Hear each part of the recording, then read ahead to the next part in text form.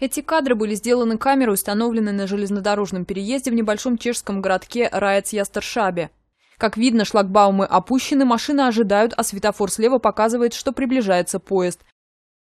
Пожилой мужчина, стоящий справа, похоже, решает, что состав еще далеко, и он успеет перебежать через пути. Однако его беспечность чуть не стоила ему жизни. Он успевает пробежать перед поездом буквально в последнюю секунду.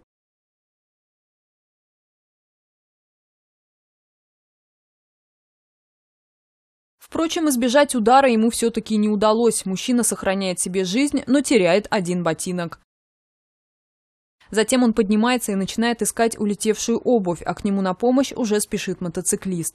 Имя пенсионера местные власти предпочли не раскрывать. Как сообщили в полиции, мужчина отделался легким ушибом. В связи с переходом путей в нарушение правил ему грозит штраф в 2500 чешских крон, это около 100 евро.